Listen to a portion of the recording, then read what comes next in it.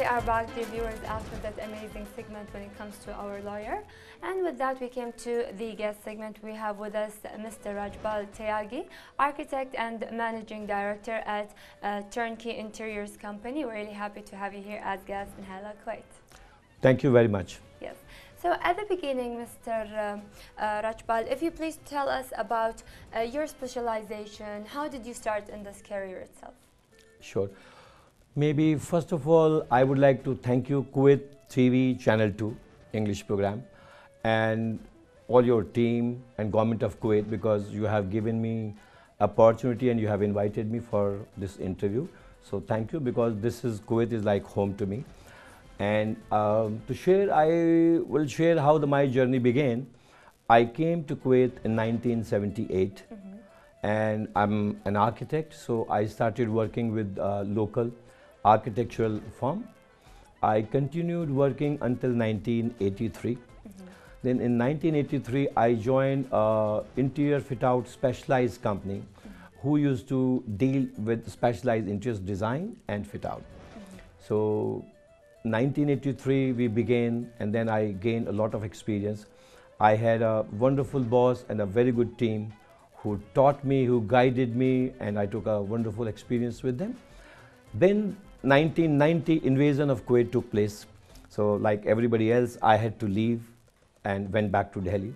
Then in 1990, I started my this business of interior design and construction, which we call turnkey interior projects, -hmm. with the same name what I use it today in Kuwait.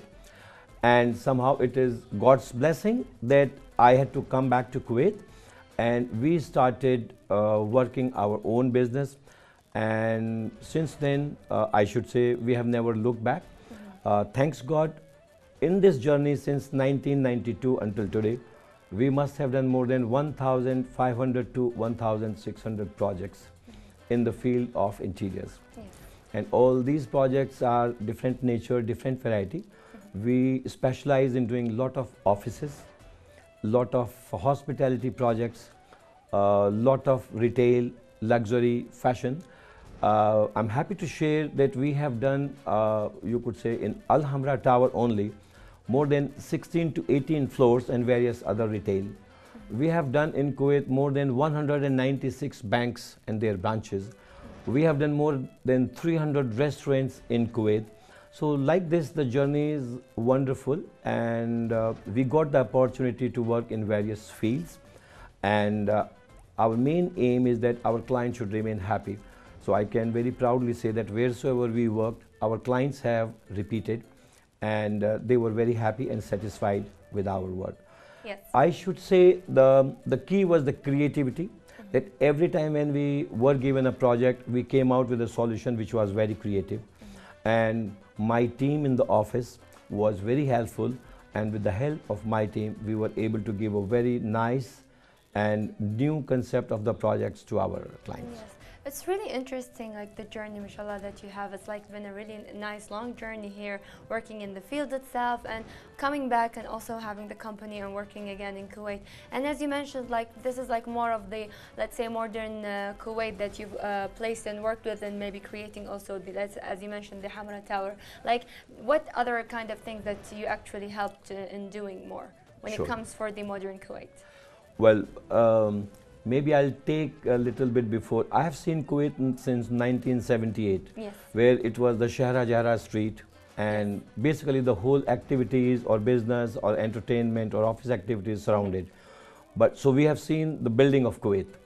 So from that era until now, where we see the new malls, new office towers, new restaurants, malls like Avenue, uh, new entertainment place like Kuwait Towers, mm -hmm. Al Hamra luxury towers.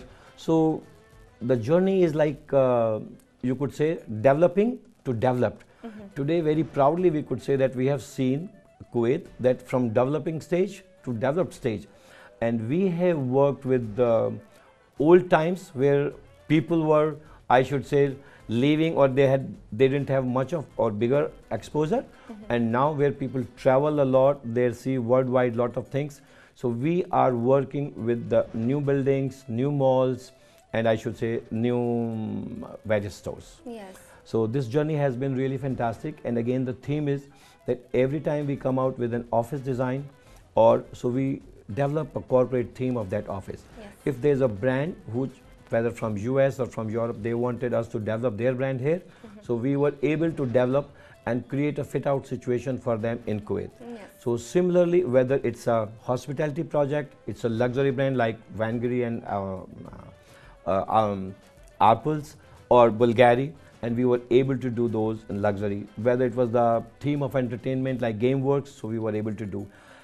I am very proud to say that uh, I was involved into design and construction of Kuwait Tower, Yes. which is a proud and I would say uh, it, it's an historical project. It's Yes, a monumental project of Kuwait. In 2000, 2001, we were involved in design as well as construction and fit out.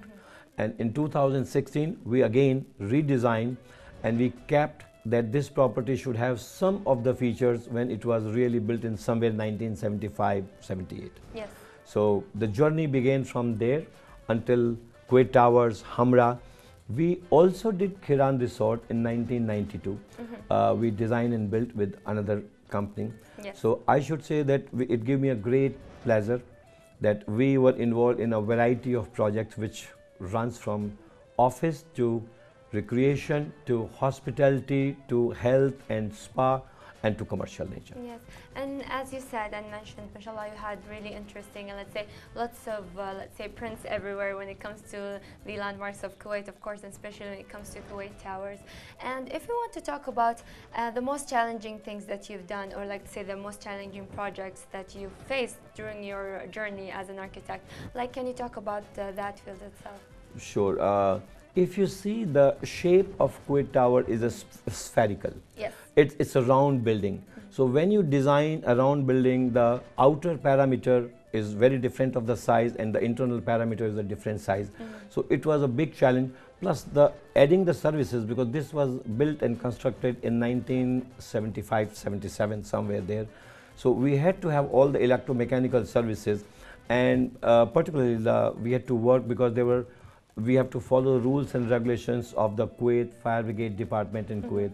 So with keeping all those factors, it was a real challenging and tough job because all the materials, what we had to use, it had to be fireproof because there was no, uh, I should say that there were elevators, but in today's building there are many more staircases, accesses, exits, but this didn't happen at that time in Kuwait Towers. So our design resolved that human safety and uh, monumental nature of the design theme. And being a historical project we kept that we do not make it so modern that it look like that uh, another project of a recreation. It should have its own unique identity. And that's what we created here in our design. So, uh, Mr. Rajpal, when it comes to your family and your kids, and and when you tell them like, uh, I helped in like recreating this tower and this building and such on, like, how do you see the family reaction towards it itself? Well, first of all, um, I should accept and acknowledge that all the credit before me go to my family, whether it's my parents, Yes. it's my wife, it's my children, uh, because without their sacrifice, without their support, it wasn't possible. I should acknowledge today that uh, whensoever I worked or whichsoever institution or organization I was part of, I got a wonderful team of my colleagues who supported me wholeheartedly, who took the responsibility and helped me or making me reach from that point until today. So my family, my friends, my relatives, my well-wishers, my clients, they play a very important role in my life Yeah. and in my professional success, I should say. So I, I really tribute, I give credit to my family a lot, and of course, without God's blessing, nothing can happen. So it's His blessing. Yes, That uh, with His blessing, we have reached here. Yes, indeed. And of course, mashallah, you're a really, good, successful man. Hopefully, you will reach to more success in your life and maybe like inherit it to all of your family, inshallah. So, if you want to also, let's say, some of the audience will be like, uh, let's say, some of the students that are going to be graduates and they want to pick their career in life. So, as an architect, like, what do you advise the audience that are watching us, especially when they want to enter that field? Like, it's a it's a more challenging and interesting field when it comes to being an architect. So, what do you advise them in that part? Well, very nice questions you have put up. Uh, since uh, I began my business Yes. uh, in the field of architecture and interiors, uh, we had been receiving lots of trainees and I should say the professional trainees who are studying in Kuwait, which is uh, in the field of architecture or interior design, and they they have come and worked for a year, uh, for a month or two months as a training, and every year we have. It's a fortunate chance that there was a student who took the training and after completion of his graduation in architecture, mm-hmm. he came, we offered him a job, and he was working with us until yesterday. Yesterday, he left for higher studies, mm-hmm. so I feel very proud. And my inspiration that's a wonderful, very interesting, very unique branch architecture. And if you have the, I should say, the taste or flair for interior, because interior is very interesting. It's like you are seeing your own creation in within a very short period of time. You know, it's, like, uh, it's like watching your own kid growing. Yes. So similarly, when you see a project in interior, which during a tenure of construction, normally construction tenure of interior projects are not very long. They they are three months, six months, or one year is a lot time.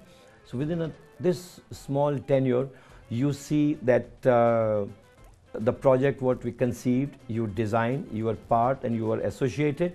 So you see, mashallah, in front of you. So I, to all the newcomers, or I would say the future of world or country or Kuwait, I say, please do join architecture, do join interior design. It's a very interesting, and again because everybody look towards basically financial success. So that way it has all the ingredients what's required to be successful to lead a good life. So my message and motto to all of them, please in architecture and interior is a very interesting branch. Please do not, and if anybody wish to uh, join or have a little, mm, I should say, um, uh, advice, Yes. we are free and we are accessible through Kuwait TV, of course, through your channel, and they can contact us. And our office doors are open for the training or any sort of counseling whatsoever is required for those students Yes. who wants to join architecture. Yes, indeed. And as we reach to the end, like we have a last question for you, which is, uh, as an Indian citizen, like how do you contribute to the Indian society when it comes into Kuwait? Well, uh, maybe from the, my student days, uh, I had been a very active um, worker or participant. So when I came to Kuwait, uh, you know, you have two parts in every person. Yes. One is a work and one is social. Mhm. So I had been uh, associated with social cultural. I had been associated with educational uh, organization. I had been associated with business uh, association, and I had been associated uh, with sports. Uh, to share with you, Satkar is an Indian organization Yes. uh, which is basically social and cultural organization because people come from India and they are in a different environment. So we teach them values. We teach them how their families, what their ancestors, ancestors were, and then basically we guide them because when they go go abroad, they do not forget who their parents were, who their grandparents were, what were the rituals, Yes. what kind of a food, what kind of a dress, what kind of a living they were doing. Yes. So that's I have to say in, in the name of Satkar. Then um, I was associated with Indian Business Council. This was established in 2000 in Kuwait. At that time, our ambassador, Mr. Prabhu Dayal, and again, I would say I was chosen as the honorary general secretary of Indian Business Council, and we because there were associations for every discipline Yes. but there was nothing for businessmen. So this association was formed to help and develop a business between Kuwait and India. And mashallah, I, I could say very proudly that we established this association, which where the members of Indian Business Society and Kuwaiti Society are part and members of this one. And we have exchanged, uh, I should say, lots of uh, interaction between different business groups between Kuwait and visiting delegation from uh, India, and it's mutual benefited. And I'm still an active member of Indian Business Council, though after uh, serving for two years as general secretary, basically we pass on the responsibility to next person. Yes. But that or- organization is still doing very well. Similarly, then it is we have educational uh, because there are a lot of children studying Indian children, and we have uh, 14 Indian schools, and four of them are Indian community school. I was one of the active member, and uh, for the four schools of Indian community, and I was on the board for 14 years and served.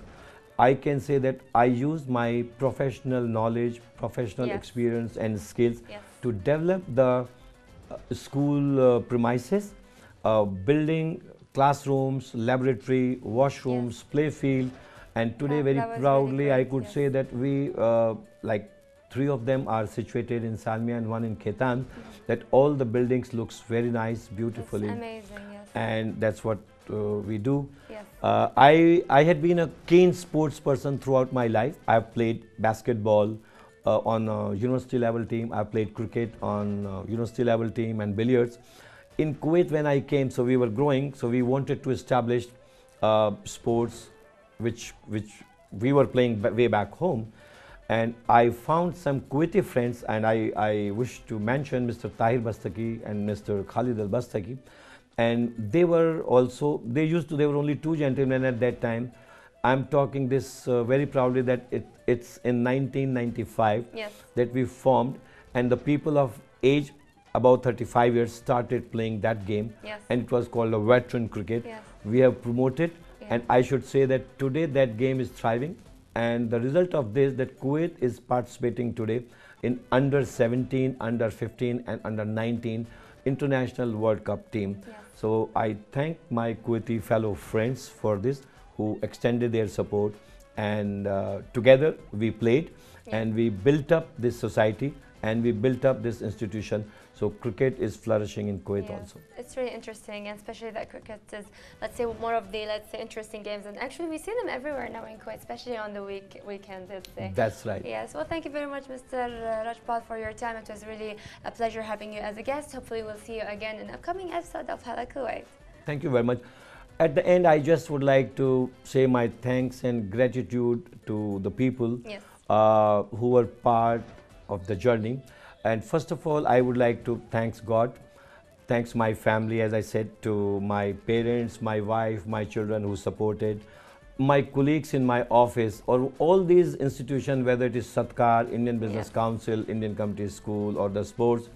And last but not the least, the people who gave me the break to start my business is a, is a restaurant company called Mughal Mahal Restaurants. They gave me the break, and owners I definitely want to mention today. I'm grateful and thankful to them that Mughal Mahal gave me this break, and I started my work with them. I designed and built 11 restaurants for them here, and two restaurants, one in Lebanon and one in Egypt. Yes. So thank you, Mughal Mahal. Not only this, to my all the clients who supported me in my this journey of professional skills. Well, thank you very much, Mr. Rajpal. And with that, dear viewers, we're going to head to our report on fire de- department segment. So stay tuned with us. Thank you very much. Thank you for interest.